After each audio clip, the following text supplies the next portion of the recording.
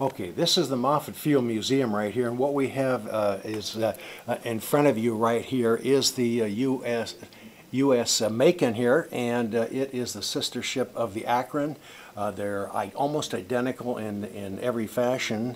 And what you uh, what you're looking at there is, uh, in in fact, uh, the the eyes of the U.S. fleet. In the early 1930s is when they they made the two uh, uh, the two airships right there. Uh, the Goodyear Tire Corporation got the contract, and they worked uh, with the Zeppelin Corporation uh, in order to go ahead and make the two airships because the Germans were by and far the leaders in this. So in the early 1930s, they made both the uh, the Akron and the Macon, and uh, uh, the whole purpose of the airship themselves were to be the eyes of the U.S. fleet. If you look down at the lower portion right here, you can see a little teeny airplane.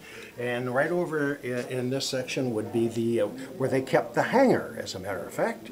And inside the hangar, they kept four of these little scout airplanes, and they were to be the ones that are looking for the bad guys. Uh, they would go out and look for the bad battleships and tell the good battleships where they were.